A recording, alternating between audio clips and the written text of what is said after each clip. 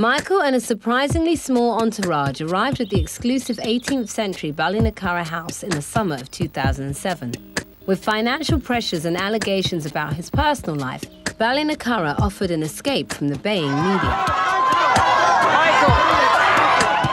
And it was something of a surprise visit. We had had a call and we knew that someone was coming down here to look at uh, the property with a view to staying for a little while. We didn't really know that it was Michael Jackson until the door uh, opened and out popped this superstar. I guess you could have pushed me over with a feather. It was like, who's this? Is this for real? With 22 bedrooms to choose from, Michael went for the Balinese themed suite he decided that this was the room that he wanted to stay in because, um, for the obvious reasons, that the, the, kids' playground was down here, and he was writing his album here, and been able to watch the kids and supervise them and have you know a bit of enjoyment just seeing them having fun outside.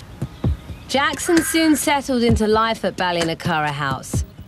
Though desperate for a normal existence for himself and his family, he did make the odd pop star demand.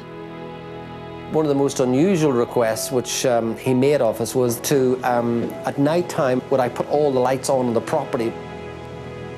I got a little bit intrigued by this, wondering what he was doing, and I popped my head through the hedge, and there was Michael Jackson moonwalking in the moonlight. It was quite a, an eerie scene, seeing this pop icon practicing his dance moves in our front garden here. Listening to Des, Michael's stay at Ballinacurra House was clearly a very happy time for both him and his children. He was beautiful, great to deal with, and very down to earth, which you know defies a lot of the um, so-called image of the, these superstars in him as well.